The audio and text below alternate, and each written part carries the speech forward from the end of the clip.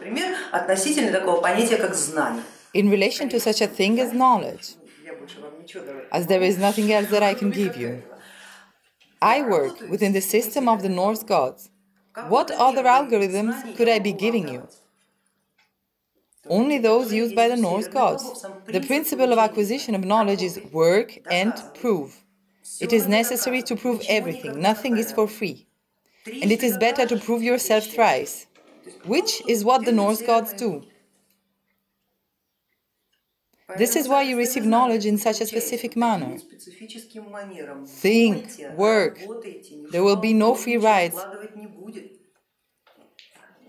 Follow the rules, follow the hierarchy, follow the main principles.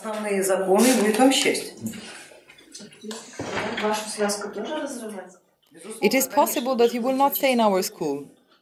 You understand that we are not the only teachers around. Tomorrow you might need a different kind of knowledge that another teacher may be able to give you. So what this means that you wouldn't be able to learn from another teacher? Knowledge cannot be limited by the capabilities of the teacher. This is nonsense. If you realize that your teacher is not giving you what you need, then you have to say goodbye and move on to another teacher.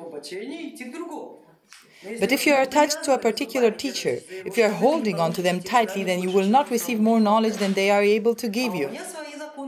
And I have my own rules, my own contracts. I will not give information in any other way than the one I am allowed to use. In our school, knowledge is given according to the rules dictated by the Norse gods. If knowledge is needed, it will be provided, but the person is expected to work for it. Only under these conditions. This is not Yahweh who gives out for free just as he pleases, just because he selected a certain someone and designated them as the chosen one. Well, this is his Judaic algorithm, but not ours.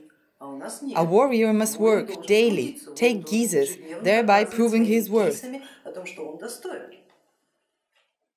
Don't you agree? Did I ever teach you anything different? We never lie to you, but being attached to a particular method of receiving information may eventually begin to feel insufficient to you, and you will want a different kind of information. Do you have the right for it?